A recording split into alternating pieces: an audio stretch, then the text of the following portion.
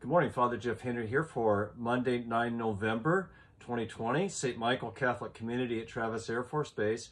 But I'd like to share with you something today from our second reading from Mass, which is St. Paul's first letter to the Corinthians.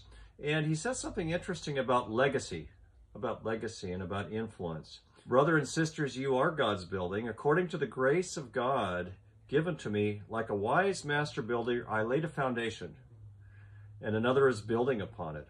But each one must be careful how he builds upon it, for no one can lay a foundation other than the one that is there, namely Jesus Christ. Christ is our foundation. Do you not know that you are the temple of God and that the Spirit of God dwells in you? If anyone destroys God's temple, God will destroy that person, for the temple of God, which you are, is holy. God is very jealous of his people, is jealous of his church. He protects us, he watches over us. Paul says, I laid a foundation and another is building upon it.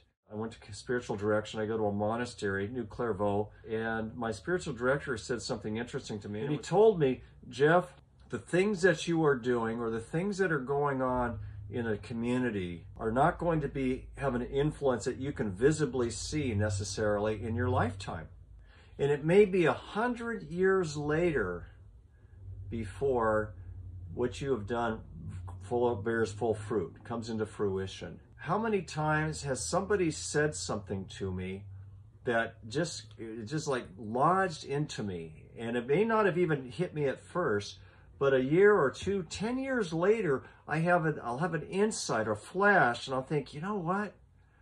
The reason i'm doing this today is because of something somebody said. I can't even remember who it was 10 years ago told me this or 20 or whatever we are influenced by those around us. And I, it's an interesting thought as well because we don't always know whether somebody is there for that moment or we are there because we're able to receive it at that moment. It's God who brings about the change. It's God who is the foundation. And some people have laid a foundation, which is Jesus Christ, in our lives through baptism and through the teachings of the church. But sometimes in our own faith communities or among our family and friends, one little thing can happen, one little little nuance that changes everything the way we do things, our perspective of life. We may not even realize it in our lifetime, but we're going to pass that on, uh, even unconsciously, to the next person. It's like this in Japan, there's a group of monkeys called macaque monkeys, and they swim. They're swimmers. They live by the ocean. And they can trace it back scientifically to one female macaque monkey who learned how to swim and passed it on to all those that came after. That's like a parable.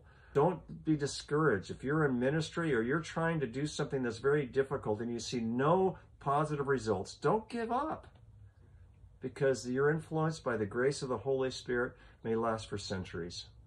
Let's have a word of prayer. Heavenly Father, we do commend our ways to you. May we always lay the foundation of Jesus Christ by our thoughts and our acts. And may we always do that which is beneficial to your church and never destructive. Give us your spirit to lead us into all truth, we pray through Christ our Lord. Amen. In the name of the Father, and of the Son, and of the Holy Spirit. God bless you. I hope that you have a great day, and you are in my thoughts and prayers. Uh, we'll talk to you soon.